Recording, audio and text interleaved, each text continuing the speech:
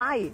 E ao mesmo assim, as, mesmo assim, às vezes as pessoas falam tanto que a gente se sente um ET porque a gente está fora do que os outros estão fazendo, quando a gente está fazendo a coisa certa. Verdade. Bom, vamos agora lá para Salvador com a Milene Rios, tá. que tem mais informações. A Bahia também está no momento complexo, o Nordeste todo, mas a Bahia, especialmente, também com regiões ali com as UTIs muito cheias, né, Milene? Boa tarde.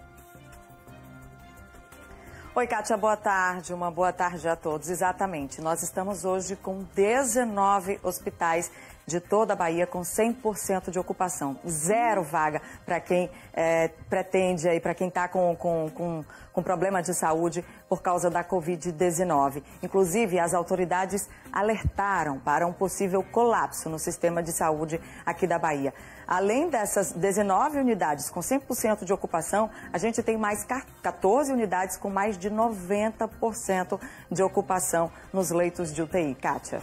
Isso, a gente comentava aqui, né, Milene, acontecendo ainda em função das festas de carnaval e reuniões depois que as pessoas estenderam um pouco mais depois do carnaval que não existiu.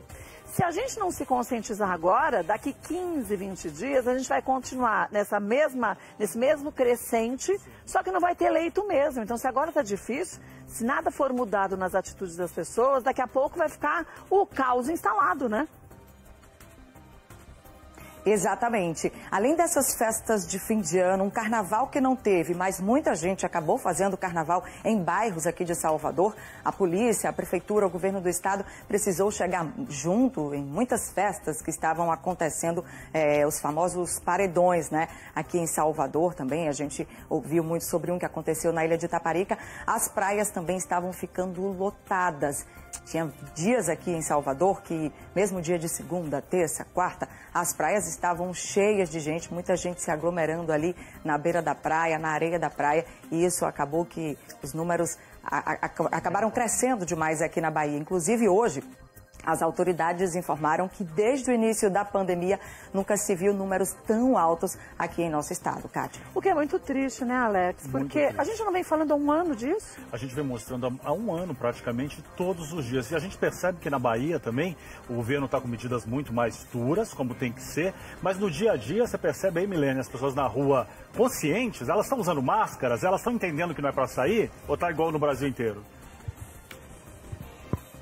Não, muita gente sem máscara nas ruas. Eu mesma ontem fui fazer matéria e durante o dia, a gente andando pelas ruas, a gente vê muita gente sem máscara. E muita gente até que desdenha do vírus, né? Muita gente que fala sobre a, a, a imprensa que defende né, o uso da máscara. E muita gente também que, é, às vezes, faz uso da máscara, mas está ali aglomerando, está pegando um transporte público para ir numa festinha, para ir para casa de família. E você falou aí sobre essa questão das medidas restritivas. Nós estamos aqui na Bahia com medidas restritivas. Aqui em Salvador, até as 8 horas da noite, só funcionam é, supermercados, farmácias, serviços essenciais. Após as 8 horas da noite, até o transporte público para e serviços, inclusive os que não são essenciais, também estão fechando, como é, supermercados e farmácias e outros serviços mais.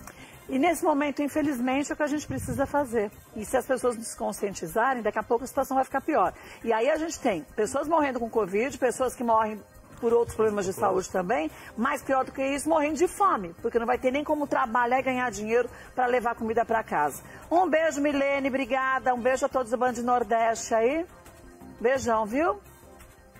Um beijo para você, Kátia. Um beijo a todos vocês do estúdio. Vamos todos nos Obrigado. cuidar. É verdade. Será que as pessoas se negam, né? Não, não digo todas, né? Mas uma grande parte, isso. né? Não, não usa máscara. Esse é... negacionismo não é uma coisa meio terrível? Bom, isso não é só no Brasil, você sabe não, disso, é no mundo né? todo, no mundo todo, né? O, as autoridades, as autoridades da Europa tiveram muita dificuldade para fazer a população usar máscara na, na, nas áreas abertas. Né? Mas vê, mas passou um ano. No começo a gente até entende, muita, era uma doença desconhecida, a gente pensava no exagero. Sim, sim. Mas agora a gente vê que não é isso, né?